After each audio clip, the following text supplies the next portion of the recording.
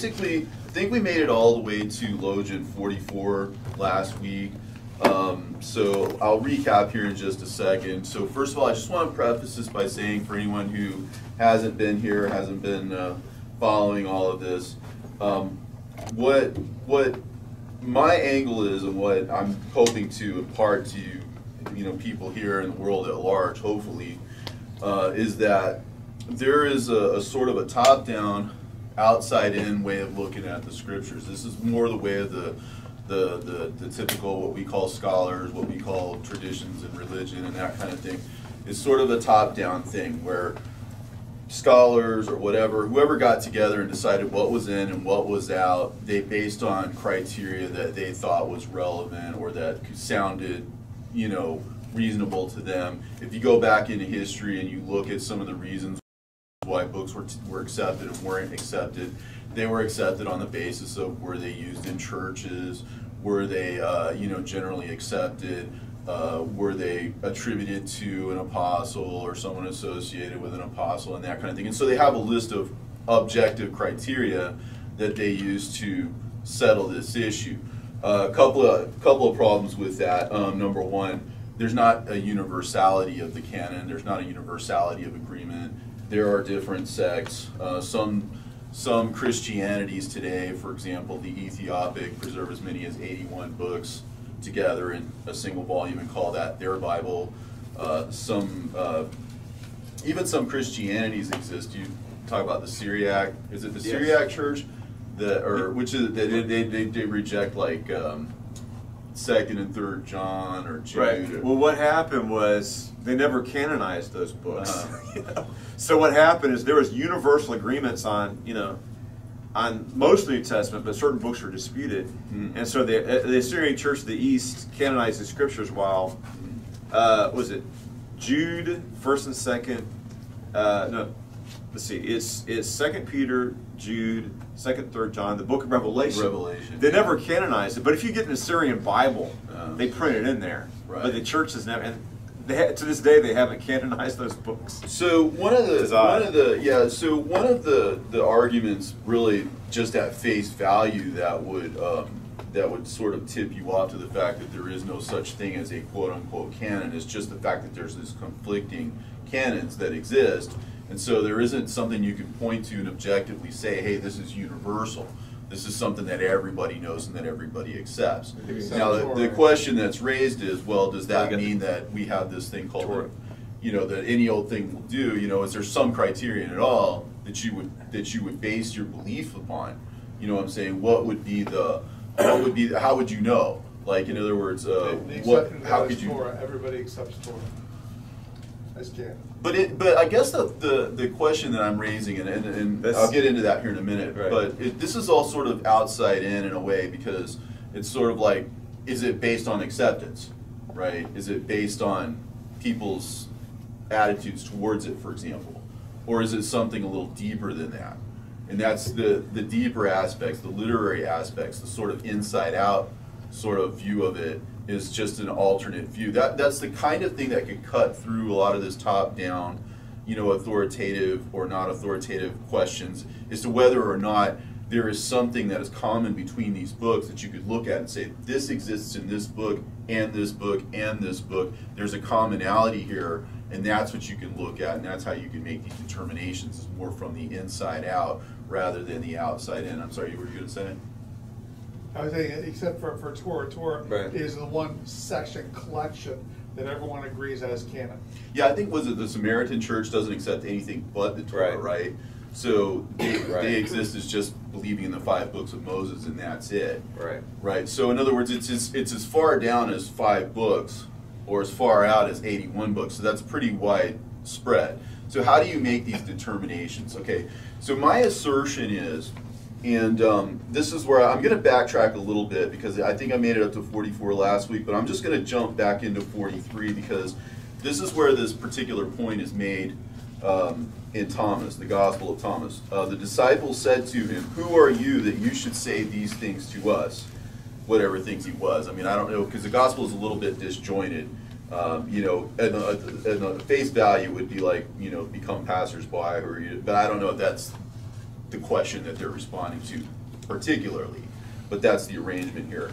But he answers them in an interesting way. He says, You do not know realize who I am from what I say to you, right? But you have become like the Jews, for they either love the tree and hate the fruit, or they love the fruit and hate the tree. You know, trees have to do with teachings, and fruits have to do with things that come about in time, you know, by means of that teaching. So, in other words, the fulfillment of things in that teaching, right? So, if you saw, for example, the coming of Yeshua as the fruit, if you will, of the Old Testament prophets, right? If you saw that, then you might tend towards Christianity and that would put you quote unquote at odds with Judaism because you're one or the other, or else you turn against Yeshua and you prefer Judaism, for example, and you reject the fruit in favor of the tree, so to speak, because trees have to do with teaching, the tree of the knowledge of good and evil, that kind of thing.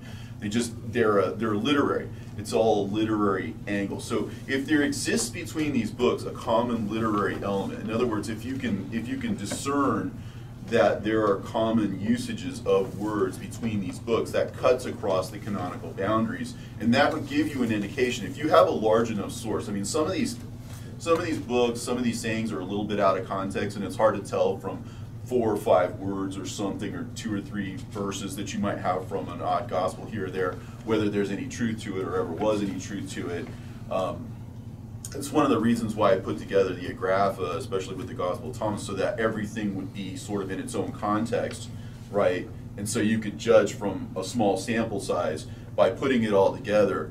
Is there a is there a um, uh, how how should I say? Is there a larger picture? Is it more than just the sum of its parts? You know, and so um, how would you know that this book was accurate or whatever? Basically, you'd have to look for internal cues. You'd have to look for what, and that's that's what I believe he's saying is that you need to realize what who he is from what he says. So it has to be from the inside out. That's his assertion. And so that's the proper way to look at it. In other words, what we define as a canon may just be entirely false, may just be entirely bogus.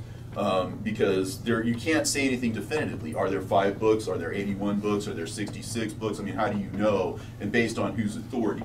right? If there was a way to judge these things from the inside out, that would utterly destroy the entire concept that's been built up for the last thousands of years and undermine it. So that would be like having the axe sort of laid at the proverbial roots of the trees, you know, or the you know the grapevine or whatever being pulled out by its roots or something. You pull it out entirely, right? You know, because it allows you to see it in an entirely different we light. look at the, the Catholic Church, and you know, we have a lot of disagreements with the Catholic Church, right? Mhm. They have a lot of But- disagreements with the Bible. Right, but we use the same New Testament, right? Mhm. The same. The Catholics and the, the Orthodox have the same uh, New Testament we do as well. I think the only group there's two groups that have different New Testaments, and that would be Syriac, the, the Assyrian Church of the East, which doesn't use those later books, if that's what you want to call them, and then the Ethiopian Church, where they have extra uh, books that they add to the New Testament. But I think it's important. And when when Jesus, this is a, this is mentioned in, um, uh, I, I think it's from the Clementine homilies. I put it together in the Ascents of James. And when Yeshua begins his ministry, he appeals. Yeshua appeals to the authority of Scripture. Right. When he begins, he begins with, you know, why you know, it's, it's the his inaugural sermon uh, in Nazareth, right? Uh, what is he? What is he saying? He goes to Isaiah. Uh, you know, this is what I'm going to do: open the eyes of the blind, and all this, bring good news to the poor. The Spirit of the Lord is upon me because He's anointed me to bring good tidings. Um, so when we see in the New Testament the authority, I, I think this is this is something with the Dead Sea Scrolls. Like when they look at the Bible text they have, they had several texts of uh, Deuteronomy, Isaiah, and Psalms. You know, these are quoted from often uh, uh, in the New Testament by Yeshua. Uh, they're also used by the Dead Sea Scrolls community. So the thing is, this is kind of interesting. That this argument uh, of the the Ebionites, and it's like to them, it's like, well, why do we use the Old Testament? Is it because the Old Testament proves that Yeshua is the Messiah? And they said, well, that's true. The Old Testament does prove that Yeshua is the Messiah, and that gives them credence. But the real reason why we believe in the Old Testament is because Yeshua, our Messiah, affirmed their authority. And this is also an early, this is also an issue in the early church when you have the Marcionites, right? And Marcion is coming out and he's going to rewrite the Bible and he's going to get rid of the Old Testament. And you know, they're, you know, we can't deny anti-Semitism in, the, in, in Western Europe, but the, the Eastern churches and the Catholic Church, they had to denounce Marcion as a heretic. Some of the New Testament too.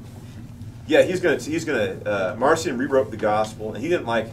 He thought Paul was too Jewish, so he like he purged Paul's epistles of, of, of Jewish elements. So this guy was a raving anti-Semite. Yeah, but what he tried to do, what what Marcion tried to do is like he was saying Yahweh, the, the God of the Old Testament, is a false God, the Demiurge, right? And the true God is our Heavenly Father. So he's like, we're gonna, you know, so we're gonna reject all the Old Testament. Jesus is, which is ridiculous. This is what this is what Marcion did. Jesus is preaching that our, our Heavenly Father, not not Yahweh. So he's Ignoring jot and tittle and everything. Right. What time in So much. history was So it? about 150, about 150, because uh, Tertullian, you know, wrote you know is writing against him. Uh, but I think the Marcionite movement existed probably until you know after the time of Constantine. But of course, Yeah, that's, that's the movement Constantine grabbed onto. well, they would have been. Well, no, he would not. I, Constantine's affirming, you know, uh, the Old Testament. So the Marcionites still existed, but the, they would have been repressed by the Byzantine Empire as heretics. So they probably would have gone into hidings or gone out to the, the, the you know the frontier of the empire Essenes- the Essenes because right, and they eventually die out, you know.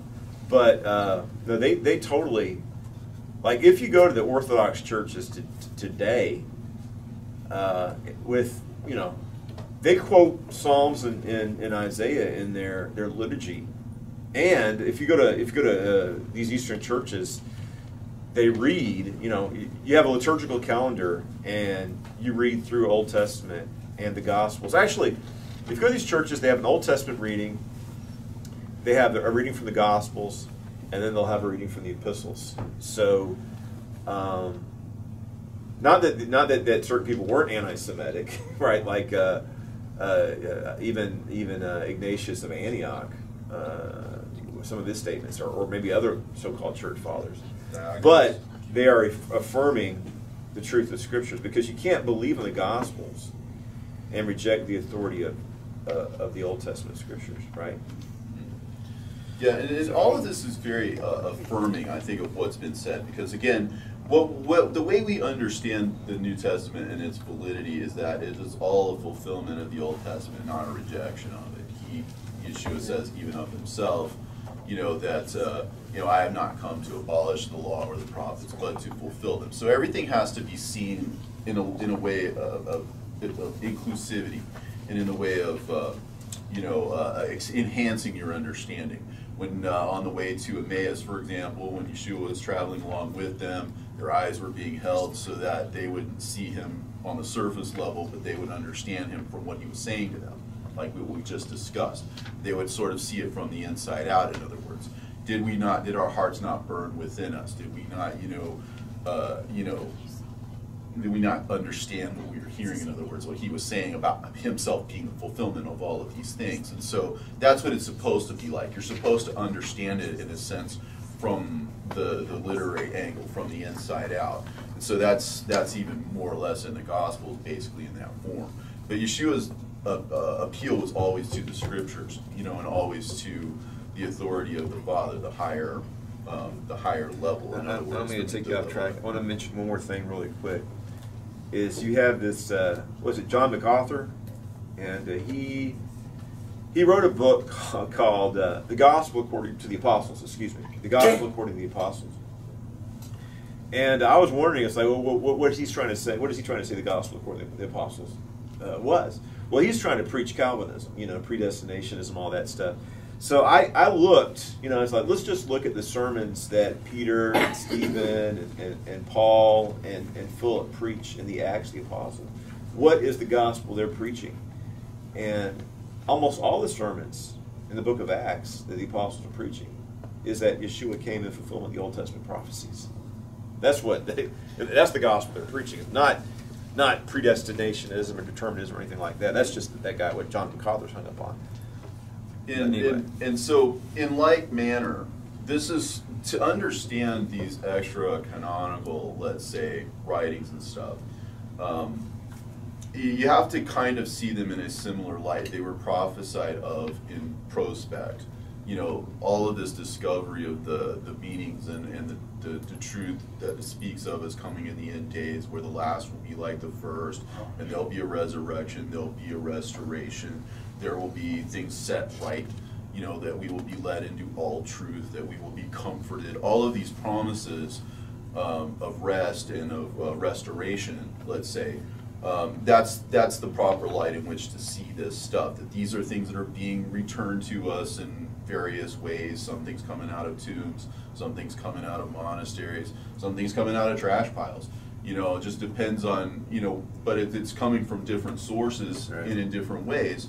Um, and because it's judged from the inside out, it's judged on a literary basis. That's the entire strength of this argument. It rests on the fact that if there exists a literary language of parables and of understanding of keys, as long as the usage is consistent across the board, again, that cuts across canonical boundaries, you're able to cast that sort of thing aside in your mind because now you realize you have a, a superior way of looking at this that basically undercuts 2,000 years of teaching, or beyond that if you want to include Judaism in that equation. But the, the function of this is to open up your spiritual eyes and your spiritual ears, and also to do away with the old, the old garment, the old teaching, the old you know wine, the old everything that that has come before. It undercuts that by replacing it with something superior. In the same way that when Yeshua came, that undercut a lot of the teachings of the Pharisees and the scribes in old Judaism and replaced it with a better understanding, which is the way we're taught. And all of that stuff was in shadows and figures and you know images and that kind of thing. And that's what this book goes into quite a bit. Um, but let me kind of dive a little bit into it. So let me move on to 45. Um, it says here, the grapes are not harvested from thorns, nor ga- uh, figs gathered from thistles, uh, for they do not produce fruit.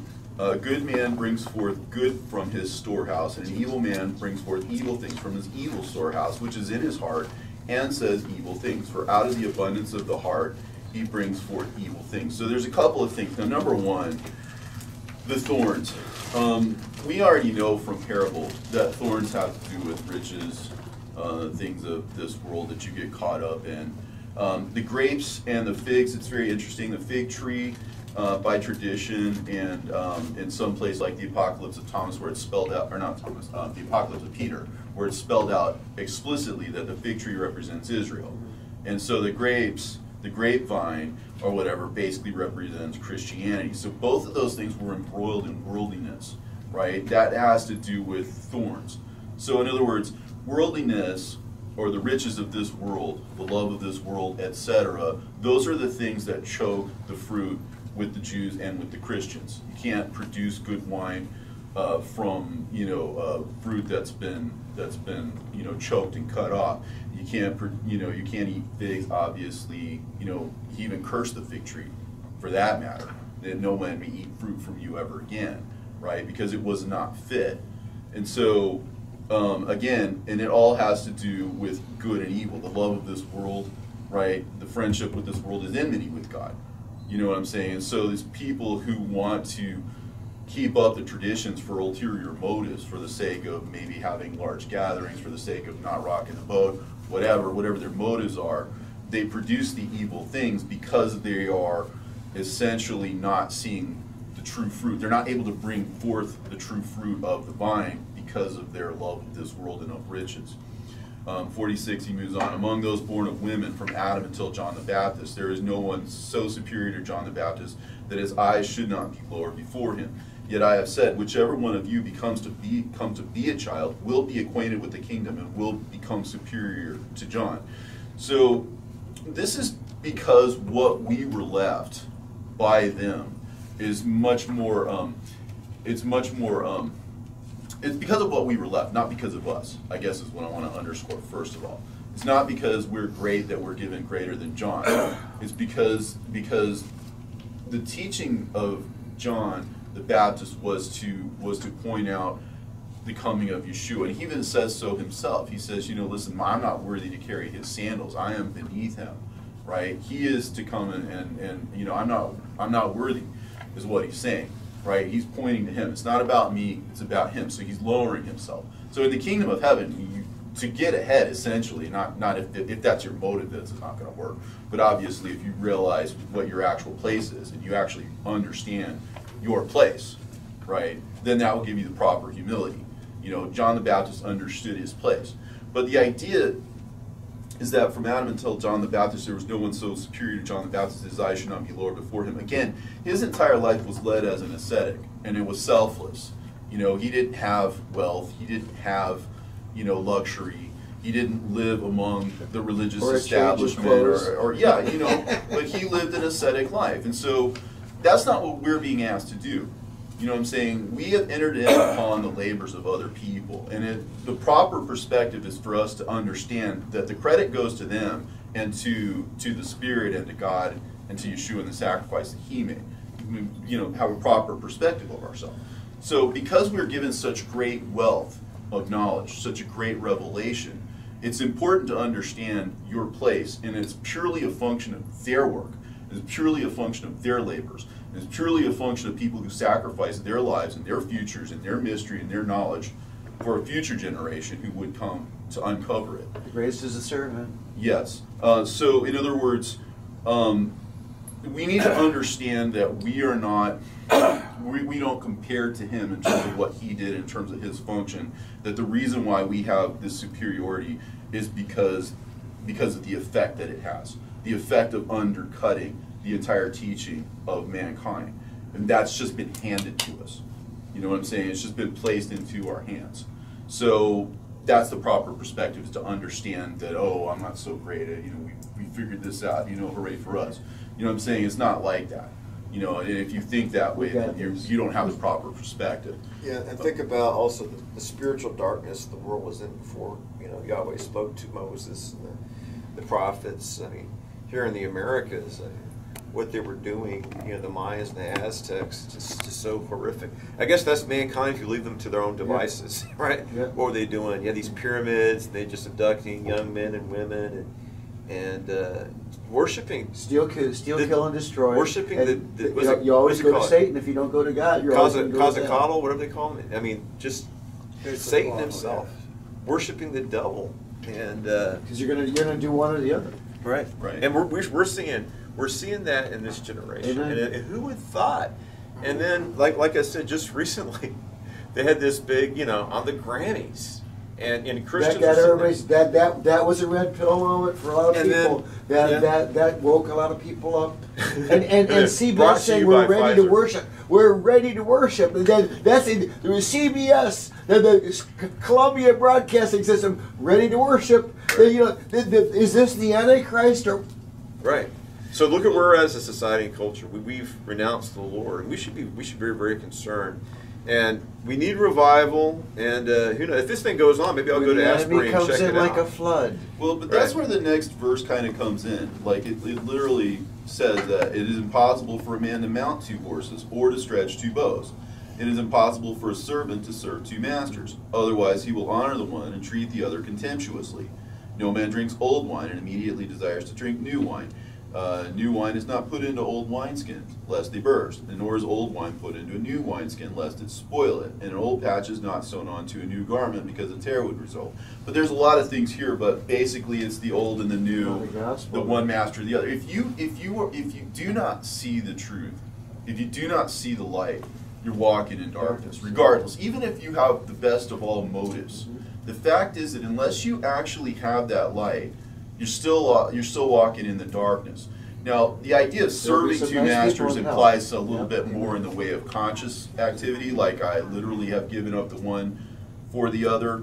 And I think a lot of people are content with that. Uh, maybe they don't believe in, in Yeshua, maybe they don't believe in the truth, you know, and they feel like their advantage lies in, you know, getting while the getting is good, getting whatever they can, you know what I'm saying? As the world teaches. I'm not suggesting that that's the entire motive of all Christians everywhere. There was always a time to not know. Again, if something is encoded to later be decoded, um, that that entails the the idea that there's going to be a falling away, that there's Right. going to be you're walking in confusion, you're walking in a fog. You know, the, the various gospels teach this in different ways, but the bottom line is that there is a losing of the mystery and the regaining of the mystery, and you're either serving the one or you're serving the other, either consciously or inadvertently. Um, I think we're starting to be confronted with a choice. You know, people in the world before they're just you know. There's oh, no, there's no fence setting, right? right. It's, it's, I think we're No middle ground. we're confronted with what Joshua said. You know, choose you this day whom you will serve. If it's going to be these pagan gods or Yahweh. As for me and my house, we will serve the Lord. And we're just seeing people. I guess they they're never really confronted with it before. You know, they're loving the world, they're serving, trying to serve God and mammon. It's like no, you, you got to make the choice. It's one or the other. You know, like it's going to be with the mark of the beast, right? We just. I thought you started Or the verse jab that 44. wasn't, It- it's that wasn't possible to be mandated. well-intentioned. I'm not gonna mandate the jab. Yeah, And then he it's- mandates that, you know. Yeah, it's possible to be well intentioned and, and wrong. That's okay? true. It it is possible, uh, you know, to to to inadvertently miss out on the truth because maybe you're just thinking along different lines or something. And Um, also as we get so- closer, we we see more clearly. too. So yeah, so in, in other words, in the next verse it says, that two will make peace with each other in this one house. They will say to the mountain, move away, and it will move away." So again, we talked about mountains last time. You have to sometimes choose, you know, judge things in their context, because again, this may not be exactly the same mountain in the same way that, you know, let's say the the the, the water might represent if um, if like the devil opens his mouth in a flood, right? His words, right? Water doesn't always necessarily have to mean God's word. It could be a flood of words from the, you know what I'm saying? So you have to judge everything from its context. This case, the mountain happens to be in the way. So this is an adversarial thing. And again, mountains have to do with higher places that are they're on the earth, let's say. You know, in, in contrast to a wave, which is like a high place on the sea, and the sea has to do with Christendom and the age of Christianity. So when you have the wild waves of the sea, or these people are unstable like the waves of the sea or whatever, they're talking about the religious rulers because they're based on the water, or in other words, God's word. Whereas the mountain, for example, based on dry lands, it's sort of a secular angle. So, but the, the mountain has to do with high places that are founded on the earth. So in this particular case, the mountain that moves away is is a mountain that is in the way, or in other words, is an adversarial type kingdom.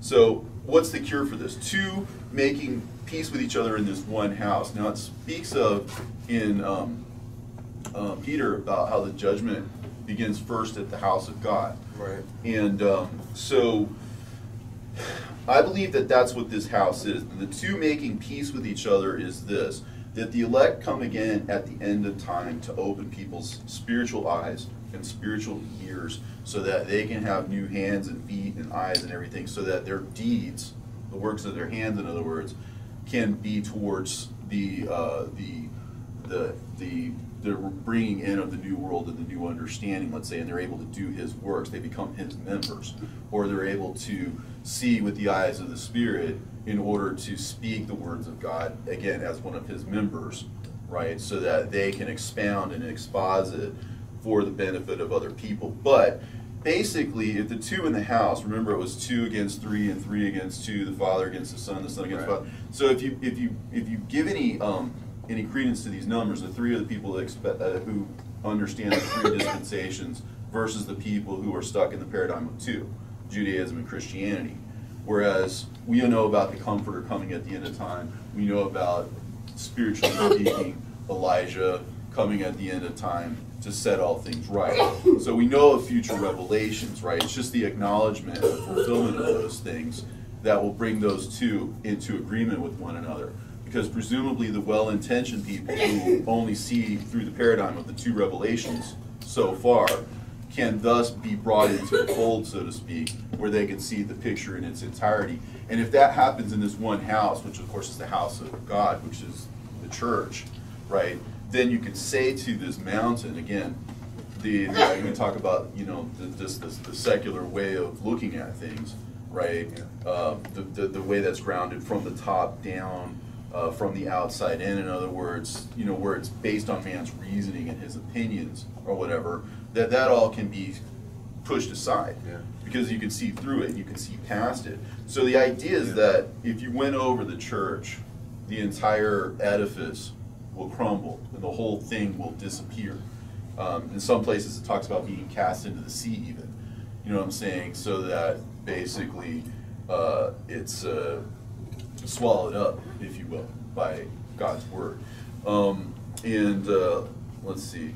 Uh, Blessed are the solitary and the elect, for you will find the kingdom, for you are from it, and to it you will return. So again, the solitary and the elect, the reason why you have to be solitary is because it's not based on tradition, it's not based on other people's teachings, it's not based on the consensus reality. This is someone who's coming at it from an entirely different point of view that's. uh, I want to mention, uh, like Billy Graham's, he's got this magazine called Decision, and the Catholic Church and the Orthodox, and they baptize babies. It's like, oh, well, because we're we're the body of Christ, we're the church. But the fact that's true. But each one of us has to come to the Lord in a solitary manner to make a decision for yourself. And, and it's not like somebody can't make this decision for you. You have to come as a solitary person and make that decision for the Lord. See, that's why I'm really hesitant myself to try and isolate it to this church or that or this group or that because by by undercutting the entire edifice, that means that regardless of their motives, regardless of their guilt, everybody's all caught up in that illusion and that they're wrong. You know what I'm saying? Or that they're they're mistaken. You wanna- And uh-huh. We're gonna have to conclude. You want to do 50 and then we'll close after that. Okay, that's fine. And so, but again, the, the, they are chosen because again, the elect are those who come at the end of time, at the end of the age, and so they find the kingdom, right? The kingdom that's been hidden, in other words. And it, because, because, because they come from the place of truth, because they come from the eternity, right? They're able to recognize that in the, the mystery and in the kingdom, and so they're able to, again, uh, articulate it. And so that brings up questions like, well, where did this all come from, right? So it, in 50, it concludes with that. It says, if they say to you, where did you come from? Say to them, we came from the light, the place where the light came into being on its own accord and established itself and became manifest through their image.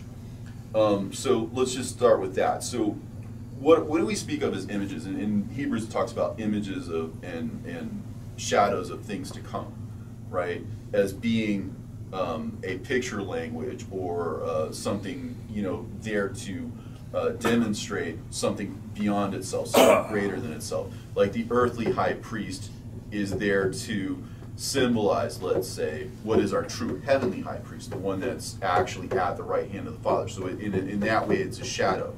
So when you see the concept of image, when you see the concept of, forms and, and that kind of thing, you have to think parabolically. You have to think in terms of parables and parabolic language. Um, and so, it, with the fact that it established itself, well, I mean, we've been given these scriptures; they've been sitting there for thousands of years, right? So all of the, the, the, the truth or whatever that comes out of that is because it's all been sitting there all this time in the form of images and parables and, and hidden language, you know, to be discovered. You know, so it came about on its own. We didn't do this. We didn't produce this stuff. It was all handed to us, right? And it said, when then they ask you, well, is it you? You say, well, we are its children. We are the elect of the living Father. Because oh, again, so he talks about blessed are the solitary and the elect. They're um, they're equated with children. So when you see the concept of children, right, then that's connected with the concept of the elect or those who are chosen by the living Father. And again, we talk about living and dying, right? The, whoever comes to understand these words will not taste of death. So the tasting of death is a function of our ignorance of these words or our inability to understand them. So living is the opposite of that, just by way of corollary. Um, that the living Father is, to understand the living Word, uh, to come alive is to understand the secret language or the hidden language. And then it says, and then again, it concludes, what is the sign, um, if they ask you, what is the sign of your Father in you? Say to them, it is movement and repose. And again, movement, agitation, that has to do with the struggle to come to understand these truths. you you have to seek to find. You have to knock in order to have the door open to you, right? You have to ask in order to have that given to you. So that's the seeking, that's the agitation, that's the working through of it. And then the rest is when you come to understand um, what the actual truth is and no longer are seeking for it, asking for it. You know, it's it's there to be, you know, to be given to you.